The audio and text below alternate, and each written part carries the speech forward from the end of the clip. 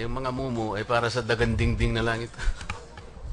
anyway, pasensya ka na JB, ikaw lang kasi ang sikat dito. So kahit pa paano, kailangan nating makapaghanap buhay. Ano ha? Ayun nga, ang sabi ng abogado mo nung nakaraan, kay President Duterte ka lamang magsasabi. Yes, Honor. pagkatapos, eh, nahilot ka rin, nakapunta ka rito. Ano ba yung dahilan kung bakit nagbago ang isip mo? Ah, actually, Your Honor, alam ko po nandito ako dahil nasa Pinan ako eh. Yun lang. Ah, Kasi alam mo, tama yung sinabi nung mga tinanong sa'yo kanina, halos ikaw ang pinakasentro ng tanungan dito dahil yung mga nauna sa'yo, talagang ang turo nila ay sa'yo. yes, Your Honor. Naisip mo ba na dahil sa ganon, ay kinakailangan pagbutin mo yung sagot mo sapagkat maaring susumahin lahat ang itatanong mo. Lahat ito ay mahantong sa tinatawag nating kredibilidad o kawalan ng kre- kredibilidad sa sinasabi mo. Yes, Your Honor. Ah, kanina sinasabi mo hindi ka ang pinakasikat pero sabi nga ni Congressman Maceda lumilitaw na medyo sikat ka rin. Katulad doon sa par- paragraph 12. Meron kang pinapaliwanag kay Secretary de Lima tungkol doon sa pag ah, paggiba ng mga kubol. Yes, Your Honor. Pagkatapos eh meron kang pinaliwanag sa kanya.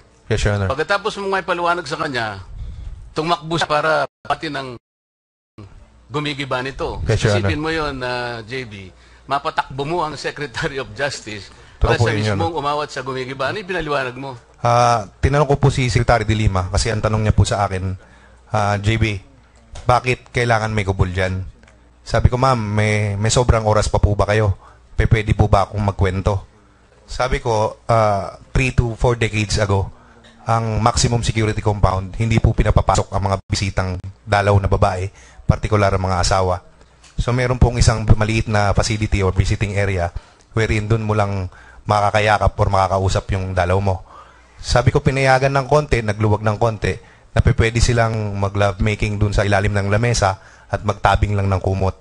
At dahil nga po sa dalagang Pilipina, naawa po siguro ang pamunuan ng Bureau of Corrections, pinayagan ng pumasok sa loob. Ah, yan din po ang naging dahilan kung bakit natigil po yung riot dyan sa loob, yung madalas na patayan dyan sa Bilibid. And of course, kailangan po ng privacy, gumawa po ng kwarto. Sabi ko, nung pumasok po yung mga kwarto na yan at nagdatingan itong mga negosyanteng Pilipino at Chinese, umabot na po sa point na nagkaroon ng luxurious kubol. Ngayon po tuwing Saturday, meron po kaming stay-in or overnight stay na tinatawag. Pinawawasak niyo po ngayon lahat ng kubol.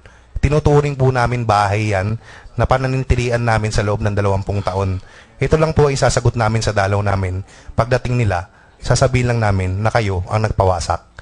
Sa mga JB, sa sinasabi mo, nang dahil lamang sa pangangailangan sa lugar para magtalik ang mag-asamang dumadalaw, yun lamang nagkapagpaantig ng damdamin ni Secretary de Lima para personal siyang tumakbo at pigilin yung gumigiba ng kubol. Hindi ba ganun sinasabi mo? Yes, Your Honor.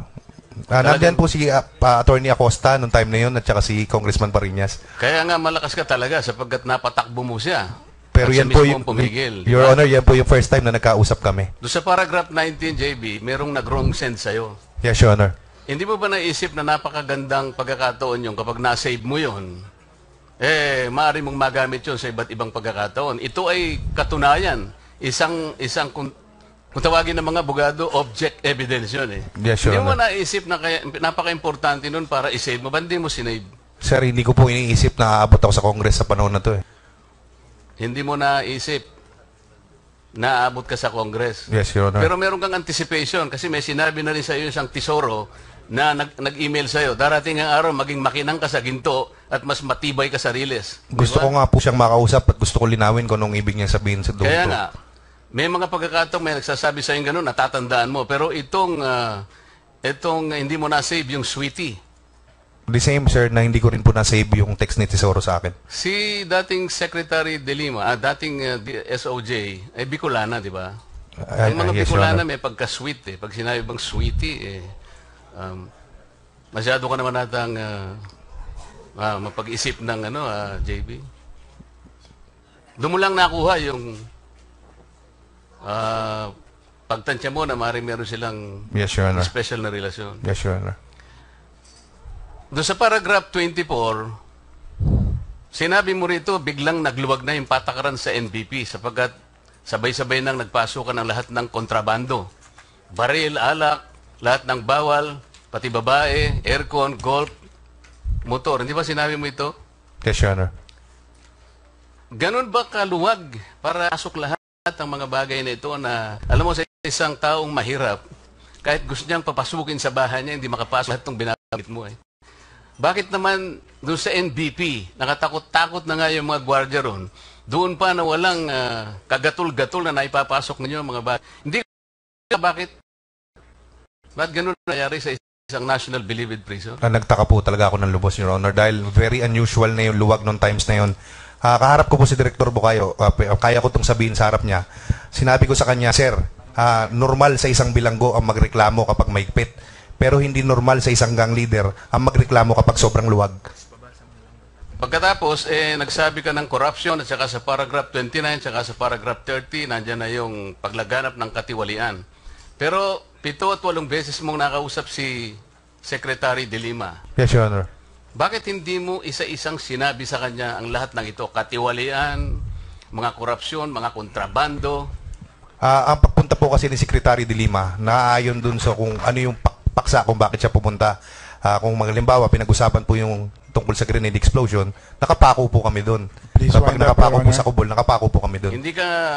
Pero may pagkakataon ka na sabihin mo kung gusto mo. Opo, katulad nung nabanggit ko po kanina na tinanong niya po kami kung bakit pinoproteksyonan namin ng mga drug lords, eh sinagot ko po siya ng taasan. Yung Na, tungkol sa pera, JB, yes, Your Honor. Your Honor, that is uh, your last question. We'll uh, call Kung for pwede the second. sana, eh, magkaroon ako ng konting pagkakataon, Mr. Chair, sapagkat ah, kanina pa po kaming umaga rito. Hindi, hindi makukompleto ito kung hindi ma, Lahat may po tayo, tatanong lahat kanina ito. pa umaga rito. Anyway, tungkol sa uh, pera. in fairness, uh, uh, Congressman uh, Marcoleta, meron pa hong uh,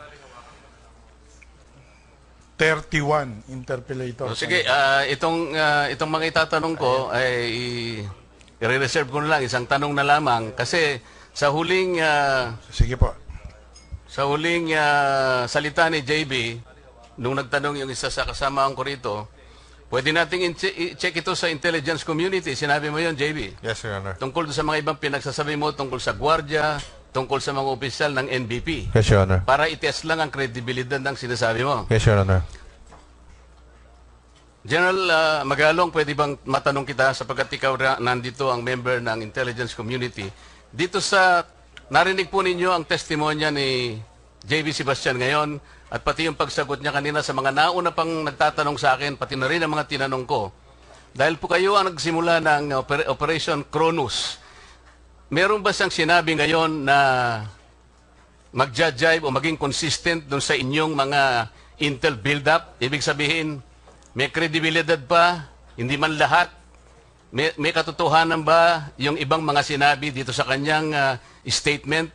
Base na rin sa inyong nakalap ng mga intel ah, build-up, General Magalong?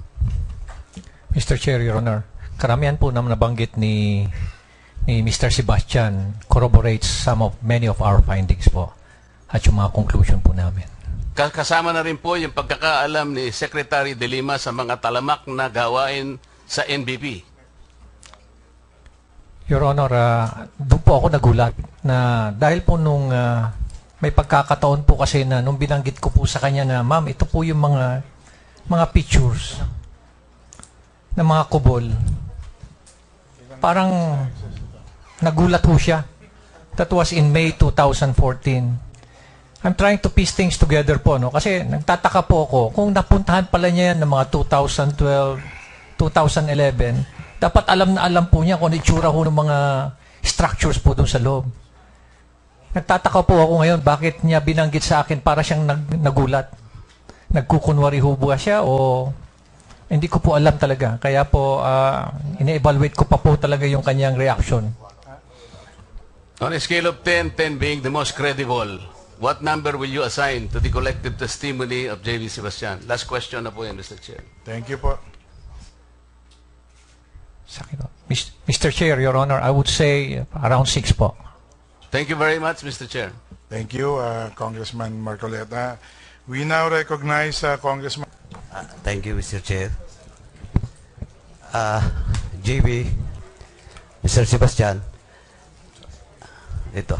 Yes, Your Honor. Actually, sa lahat na observation ko lang sa lahat ng mga witnesses Yes, Your Honor. na pumasok dito sa committee, ikaw lang umamin na you're involved in, directly involved in Yes, drug Your Honor. trading. Yes, Your Honor. Now, gusto ko lang sundan yung sinabi ni, yung question kanina ni Congressman Aliano. Yes, Your Honor. Kilala mo ba yung a certain Patso? Sino po, Your Honor? Patso.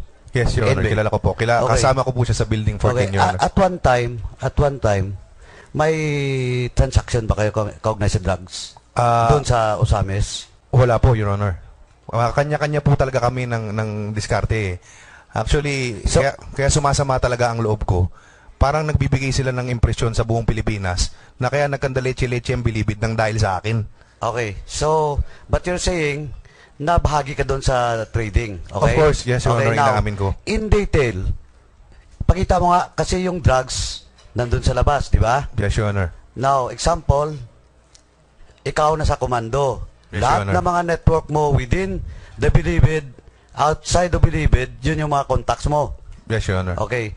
Now, bigay mo, ipakita mo nga, maiksi lang, pakita mo kung paano yung transaction from a Chinese drug lord na contact mo, Yes, Your Honor. tapos doon sa contact sa labas, then yung source sa labas, tapos paano paano paano nangyari yung transaction in Ah. detail? Ah, katulad po ng sinasabi ko kanina, ah, kung meron kang alagang Chinese at may alaga kang isang Filipino drug trader, alamin mo lang kung magkano yung kuha niya or ilan yung kinukuha niya, pagsasalpukin mo sila ng Chinese, and then meron kang ah, tubo doon sa kikitain niya.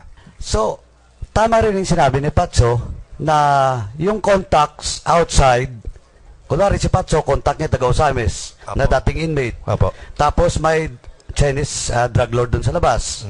Okay? So doon yung actual na pagbibintahan. Yes, Your Honor. Pero yung bayaran ng pera sa loob ng bilibid.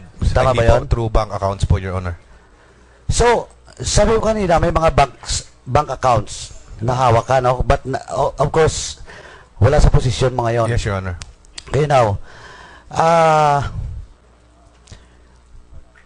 tama ba ang sinasabi ni Secretary Aguirre kanina na sa pito pa lang, more or less ha, sa tansya mo lang, sa pitong accounts na sa 15 billion na ang pera na umiikot dun sa transaction sa drugs? Probably, Your Honor, totoo po yan. Okay. Ah, kanina, sinabi mo o dininay mo that you are a government asset. Tama ba? Yes, Your Honor.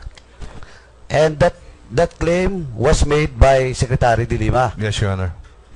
So, ibig sabihin, sa committee na to, sinasabi mo na nagsisinungaling sinungaling si Secretary De Lima? Yes, Your Honor. Kasi technically, to be a government asset, kailangan pong may mga pinirmahan akong papel.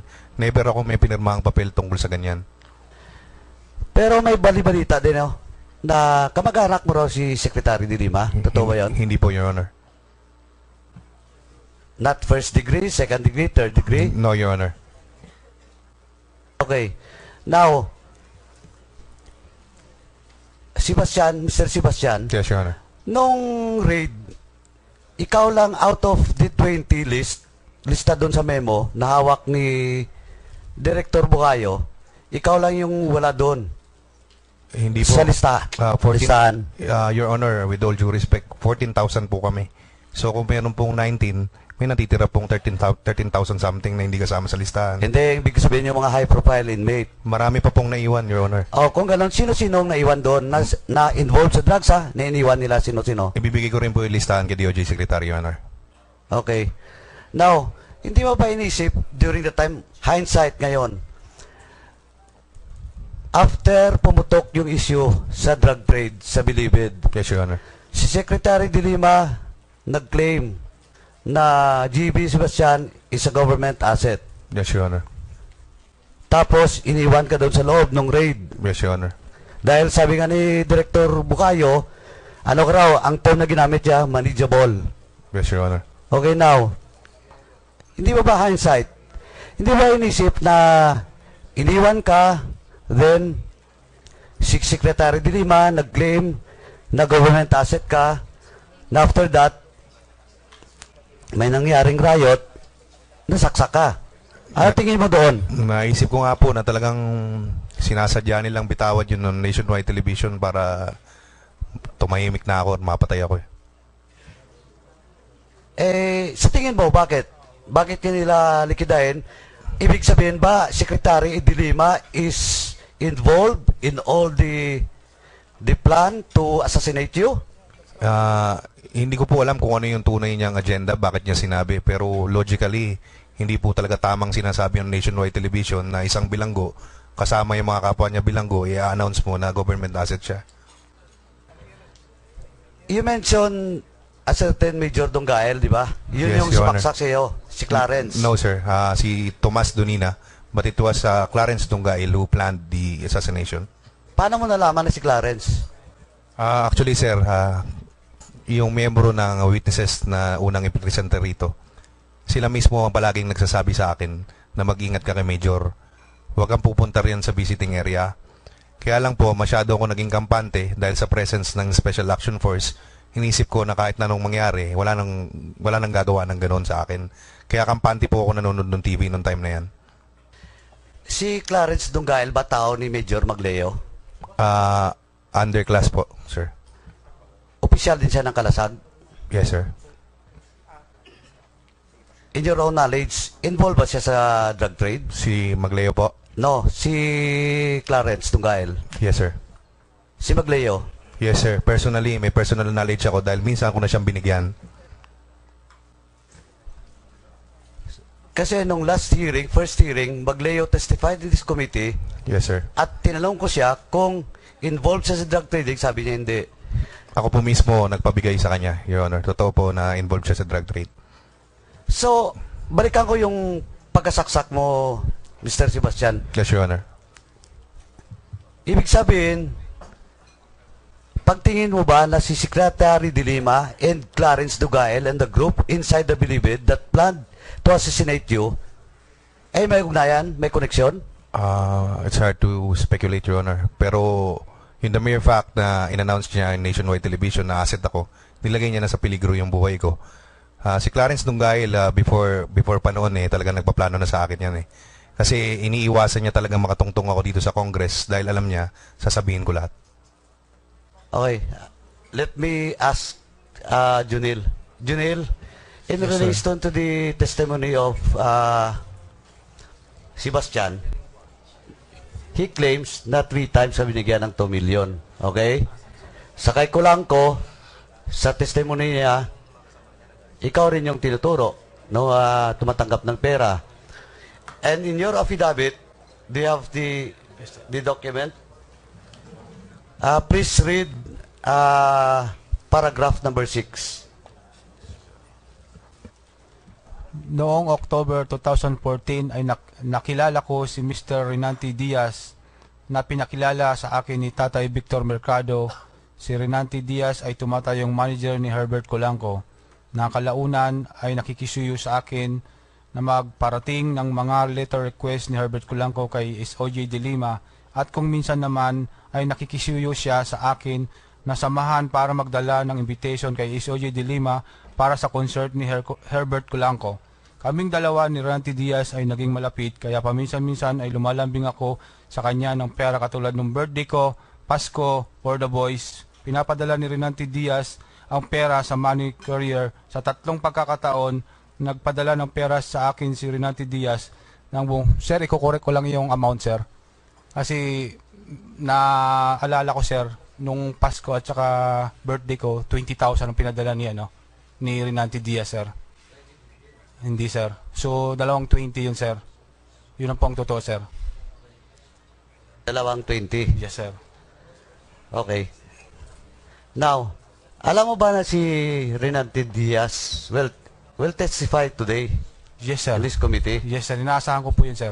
Tsaka yung mga sinasabi ni JB, ni Kulanco, at ngayon yung sinasabi mong napakalapit sa'yo na manager ni J.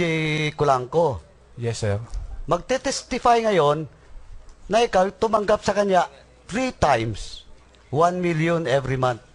Ano masabi mo doon? Sir, kung totoo po yan, sir, yung mga sinasabi nila, sir, hindi na po kayo mahihirapan sa mag-imbestiga sa akin. Ako mismo aamin dito. Hindi, yun na nga, eh, nahihirapan na kami na tanggapin yung sinasabi mo eh. Yes, sir, kasi Dahil wala- hindi lang sila. Halos lahat na inmate, kilala ka. Yes, sir. Na pumunta dito sa house, sa Yes, committee, Sir. Yes, sir. and testify. Yes, sir. O ngayon ba- sinasabi mo ngayon na silang sinungaling. Yes, Ikaw sir. hindi. Yes, sir. Ganon? Yes, sir. Okay.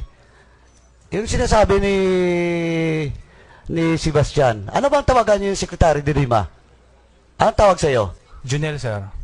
Junel? Yes, sir. Yung palayaw mo, hindi yan tinatawag sa'yo? Anong palayaw mo? Sa bahay namin, sir. Hindi, kay Secretary de Lima. Junel lang, sir. Junel. Kunwari, tawagin kayo ni Secretary de Lima, sabi niya, Junel, hoy. Ganon? Hindi, sir. Ano? Junel. Junel.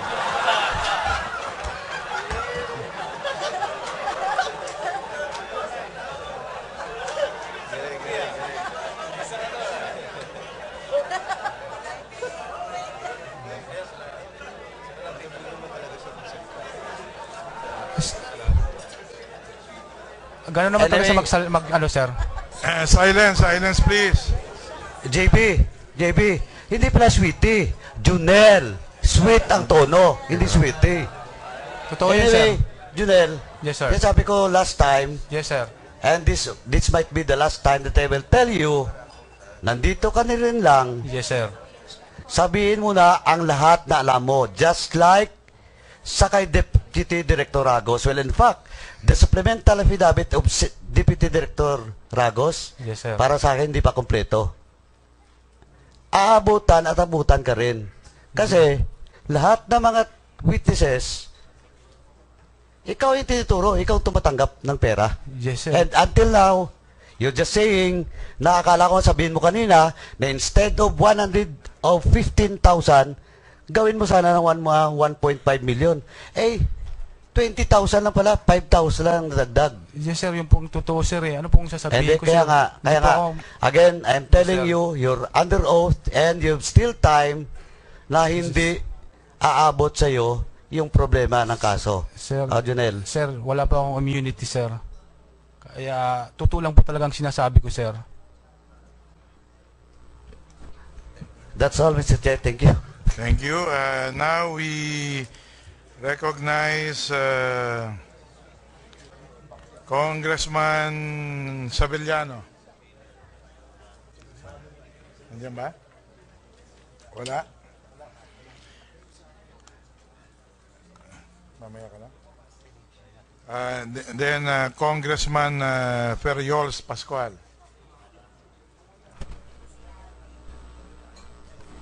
Thank you, Mr. Chair. My questions are directed to Mr. Sebastian. Mr. Sebastian, ah, sabi niyo po, labing-anim na taon na kayo sa loob ng NBP. Hindi po. Labing anim na taon na po ako nakakulong. Sa loob po ng labing-anim na taon, ilang beses na pong nagkaroon ng drug raid sa loob po ng Bilibid? Ah, major drug raid po. Ah, yun po ba ang tinatanong ninyo? Oo. Ah, during NB- ah, yung NBI lang po, yung 19. 19. Yung, yung, yung 19 po na dinala sa NBI. Yun lang naaalala nyo? Yung kung major, kung major drug operation po ang tinatanong ninyo, yun lang po ang naalala ko. Pero meron po mga maliliit na operation na internal po, uh, Bucor na gumagawa. Mga ilang beses yun? Ah, too many Sa- to mention, hindi ko na maalala. Sabi niyo po kanina, nagkaroon ng ah, raid ng mga firearms sa loob ng Bilibid. At sabi niyo kanina sa inyong obserbasyon ay parang ah, moro-moro ito. Tama po ba yon? Ah, hindi po, yung mga contrabands po ang sinasabi kong parang moro-moro. Paano niyo nasasabing moro-moro o totoo ang isang raid na nangyayari po sa loob ng Bilibid? Ah, kasi nga po, parang very unusual nung times ni ah, Superintendent Tesoro, napapasukin ng sabay-sabay lahat ng kontrabando. And then by December, magkakandak pala ng raid. So, sa mga drug raids po na nangyari sa loob, masasabi niyo po na ito po ay totoong drug raid na nangyari? O na hindi po ito moro-moro? Ah, actually, ah, Your Honor, wala naman pong ah, drug grade na specifically na hinahanap ay drugs. Ah, kadalasan po ito ay greyhound or searching operation na hinahanap po lahat ng kontrabando kasama na po dyan ng drugs. Sa mga nasasamsam po ng mga drugs sa mga raid na ito, ah, gaano po naaapektuhan po ba ang supply ng droga sa loob ng Bilibid? Ah, tulad po nung nabanggit ko kanina, very minimal lang po yung pinapasok na drugs dyan sa loob, parang for uh, personal consumption. Pero yung bulk po talaga ng drug trade eh, sa labas po ng bilibid. After po ba ng mga ah, raid na ito, may nangyayari namang pagbabago sa loob ng ah, ng maximum po compound? Ah, parang continuous cycle na lang po yan, Your Honor. Sa mga mga pangyayaring raid po na ito, may meron po ba kayong ah, mga tips na nakukuha or information na may darating po na paparating na mga raid? Minsan meron po, Your Honor. So, um, sa mga information po na ito, sino po ang mga nag-i-inform sa inyo? Mer- maaari niyo po bang sabihin sa committee na ito? Ah, on nationwide television po, mahirap. Pero I'm willing again to give the list to the Department of Justice Secretary. Opo, may I ask the committee po to take note of the commitment of the witness to furnish the DOJ the uh, list of the persons involved in this uh, uh, leakage of the information of uh, raids. Uh, sa nangyari pong uh, December 2014 raid, na kayo po ay naiwan at yung Bilibid 19 ay uh, na-transfer po sa NBI facility. Yes, Your Honor. Masasabi niyo po ba itong totoong raid? Ah, yes, Your Honor. Ba, paano niyo po nasabi? As I said a while ago, ah, wala pong ah, commander or leader ng gang na nasama po dyan sa raid na yan. Gaano pong kalaki ang extent kapag nagkakaroon ng raid sa ah, maximum compound? Ito po ba ay nangyayari sa ah, ilang par- portion lamang o buong ah, buildings po ay nagkakaroon ng raid? Ah, depende po sa extent ng operation. Kapag ka internal lang, ah, minsan nasa inclusive lang po rin sa dormitory nila. Pero yung nangyari pong raid noong December, ah, nung tin- tinaguri ang Bilibid 19, ah, composite po yan na lahat po ng operatiba nagsama-sama po dyan. So, ibig sabihin niyo po, sa mga nangyayari na internal raid na ginagawa ng Bucor, ah, may mga pagkakataon na kayo po ay nakakatanggap ng tips, may pagkakataon na hindi. Tama po ba? Ah, yes, Your Honor. So, ibig sabihin po, ah, sa dinami-dami po ng mga raid na nangyari na nakakuha po ng mga kontrabando sa mga inmates, hindi po epektibo ang mga nangyayaring ah, pagsamsam ng mga gamit kasi ah, apparently hindi po nauubos ang supply ng mga kontrabando, hindi po natitigil ang pagpasok ng mga ah, contraband sa loob. Tama po ba? Ah, exactly, Your Honor. You cannot consider that as ah, accomplishment kasi sila rin naman na nagpasok eh. Pa, ah, may katanungan po ako ah, tungkol sa mga pangyayari after po ng assumption ng bagong ah, administration po ng ah, New Bilibid Prison. Sa na mga nakaraang hearing po nagkaroon ng reports na ah, meron na po tayong F- na na-minimize na po ang ah, drug trade sa loob. Tama po ba ito? Yes, Your Honor.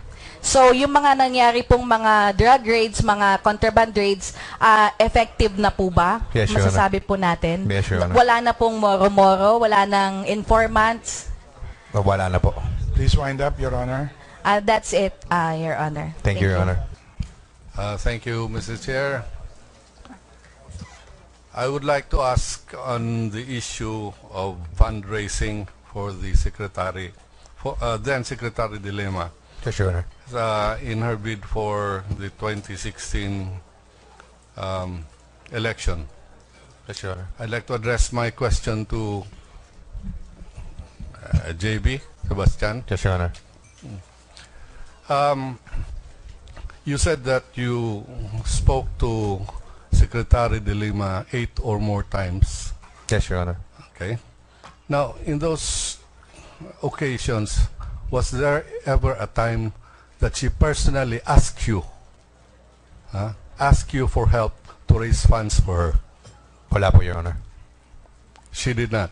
Yes, Your Honor. Okay. So it was Junel uh, Sanchez Yes, Your Honor. who told you so. Yes, Your Honor. Okay, so that's clear. Um, 8 million out of the 10 mil- million that you said uh, you gave to her Yes, Your Honor. uh, was also given to Junel, Yes, Your Honor. not to her personally. Yes, Your Honor. Okay. Now, the 2 million that uh, was supposed to be given to her personally, Yes, Your Honor. she did not personally receive uh, when you tendered the same to her. Yes, Your Honor.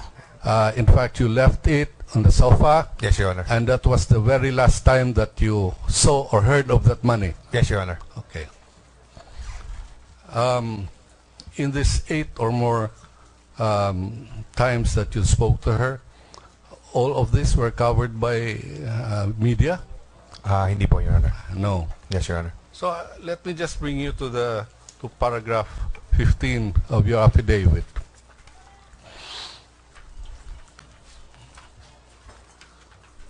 It says, pagbalik ko galing ng medyo, uh, medium Bartolina, ay pinupuntahan ako ni Secretary de Lima sa opisina ng Sigi, Sigi Commando.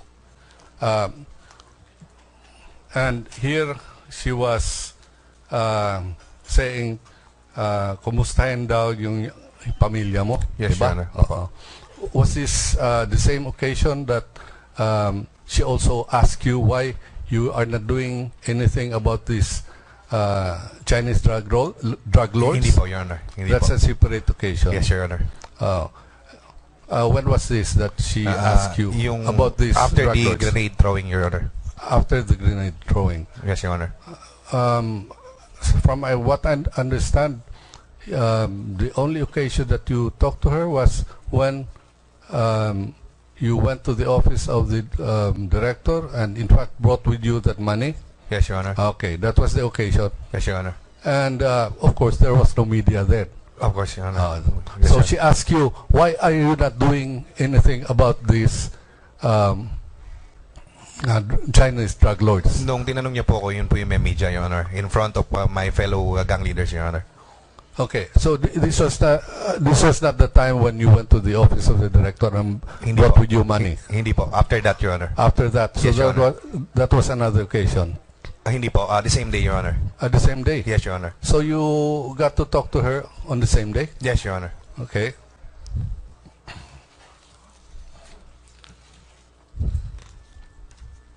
Now, one last question. Yes, Your Honor. Are you willing to undergo a lie detector Yes, Your? Honor. Yes, Your Honor. Ah, that's Yes, good. Your Honor. Okay. That's all. Uh, thank you, uh, Congressman Rocamora. We now recognize Congressman Pacquiao.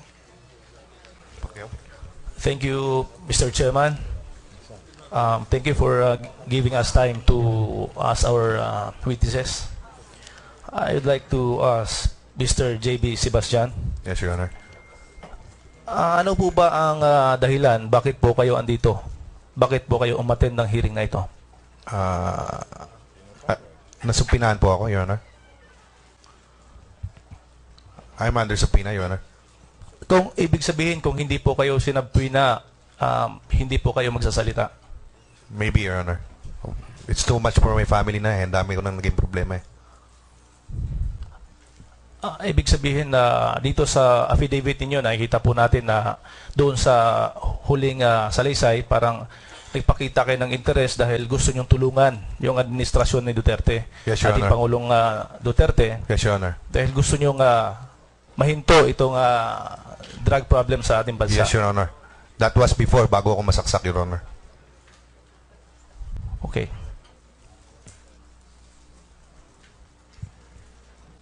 Sa tingin niyo po ba, kasi ang daming ah, mga personalities ang involved eh, sino po ba ang ah, tingin niyo na talagang ah, protector ng drug trade sa Bilibid? Protector. ah, mahirap magbanggit, Your Honor, eh. Kung sino talaga ang naging reason kung bakit. Ah, mahirap mo magbanggit eh. Pero sa pinagdaanan ko, muntik akong mamatay. Ah, nasira yung pangalan ko. Kasi sir, sa, sa loob, pag sinabing snitch ka or tawiwit ka, eh parang wala ka ng silbing tao. Sa takbo ng kwento, si Secretary de Lima talaga ang lahat may kasalanan. Ah, okay, mas maganda na po yung maliwanag dahil ah, yun nga doon sa mga previous hearings ng ah, ng Kamara eh talag ng ah, Committee on Justice talagang ah, gusto eh, hindi lang naman tayo, ada buong mga Pilipinas gustong ah, malaman kung ano talaga yung ah, ah, sitwasyon o sino talaga yung mga taong involved, no? Yun naman talaga ang purpose eh. Bakit na nag-conduct tayo ng inquiry? Yes, Dahil Your Honor. gusto natin palabasin kung ano talaga yung katotohanan. Thank you, Mr. JB Sebastian. My next question to Thank you, Your Honor. para po kay Junel Sanchez. Junel, ah, anong pagkatao, pa, ano bang ah, pagkakilala mo kay ah, Secretary de Lima and uh, Senator de Lima? Kasi doon po sa affidavit ni Sir JB, eh, tinatawag ka ni Kuan na sweetie. Ano ba? Sir, para sa akin, sir, eh, mabait naman si Secretary de Lima, sir. Pinaglulutuan niya kami, sir, doon sa bahay nila. Siyang namamalingki, nagro-grocery. Sinasama namin siya, sir. Ah, walang ibang kahulugan yung ah, pagtawag sa'yo na sweetie. Wala namang tawag sweetie, sir. Jonel lang, sir. Hindi kasi sinabi dito sa statement eh, dito sa affidavit ni Mr. JB Sebastian. Hindi ako may sabi ah. Andito sa affidavit ni JB Sebastian, nasa number 18, na sinabi niya, nakita niya mismo, nag-holding hands kayo, tinawag ka na sweetie, kaya gusto ko lang i-establish kung anong pagkatao ni Sekretaryo na Senator De Lima. Kung talaga bang malambing lang siya, talaga bang may may tao naman ganun eh. Diba? Sir, as a security, sir, siyempre, sir, kailangan namin pangalagaan ang kanyang security, sir. Katulad ng sinabanggit niya, sir, medyo nadula si secretary. Siyempre, alalayan namin yun, sir. So, na, na-misinterpret niya lang ni JB yun, sir, na nahawakan ko yung kamay ni secretary. Kasi dito rin sa, sa affidavit ni JB, uh, for how many times kayo nakita ni JB na magkasama? Uh, in fact, dito pa nga sa, sa affidavit niya, uh, yung uh, pag-abot ng pera, binigay. Yung sa pera, sir, eh, wala pong katotohanan yun, sir. Pero yung pagpunta doon, sir, sa Bilibid, talagang kasama kami, sir, dahil security kami, sir, eh. Hindi lang naman ako, sir, ma- marami kami. Andi kasi andito sa affidavit eh. Tala, ikaw ko na-contact ni JB, uh, dahil doon sa, kuan, uh, ikaw yung malapit doon kay, kay uh, Senator De Lima. Dahil, sir, sa security nga ako, sir, at saka security aid, sir. Okay. Uh, Janelle. Thank you, thank you, Mr. Chairman. Thank you, uh, Congressman Pacquiao. We now uh, recognize Congressman Batucabe. Thank you, Mr. Chair. Ah, magandang hapon sa ating mga panawin. Magandang hapon sa iyo, JB. Ang una kong tanong ay ganito. Ah, JB, matagal ka nang ah, nakakulong, labing anim na taon. Yes, In fact, Honor. most of your adult life, nasa kulungan ka, dalawampung Honor. taong ka, 36 years old ka na ngayon, nasa kulungan ka. More or less, alam mo na ang palakaran sa ah, kulungan. Yes, At napakagaling po ng mga sagot ninyo. Hindi ko na po kayo tatanungin tungkol sa mga detalye at yung hindi pagkatugma-tugma ng salaysay mo sa ibang mga ah, preso. Ngayon, ang tanong ko, ikaw ba ay ah, ah, nag-agree na talamak na talaga ang dro- droga sa ating mga pihitan at ito po ay nakaugat, nakatanim ng malalim sa ating sistema ng kulungan Yes, Your Honor. Yan po ay hindi lang po nangyayari sa Bilibid, kundi pati sa Manila City Jail, gaya ng nasabi mo kanina. At lahat po ng ibang jails, Your Honor. Lahat ng jails may kontrabadong pumapasok. Yes, Your Honor. Ngayon, matatandaan mo ba, JB, na kung ilang beses itong Committee on Justice nabisita sa kulungan ng Bilibid? Uh, twice or thrice with... Okay. uh, Pinapakita ho sa amin yung mga kontrabandong na naagaw po sa inyo. Tama po ba? Yes, Your Honor. At pinapakita sa amin na babaguhin na taalisin ang kubol. Yes, Your Honor. Ngayon, pagkaalis po namin, anong nangyari sa loob sa kulungan? Ganun pa rin po, Your Honor. Okay. Ngayon po, habang nag-iimbestiga naman po tayo ngayon, ah, masasabi po ba ninyo, 100% na pagkatapos po ng investigasyon na to, ay mawawala na ang kontrabando sa loob ng pihitan? Hindi po, Your Honor. Yan ang problema natin. Bakit po, JB? Uh, after the investigation, kailangan niyo pong gumawa ng aksyon para may mangyari. Hindi naman po kaya sa susunod na administrasyon, nandito naman po kayo sa Committee on Justice at ang ituturo ninyo ay si Secretary Aguirre. Hindi po. Hindi po ako Ah, ganong klaseng tao. Hindi po.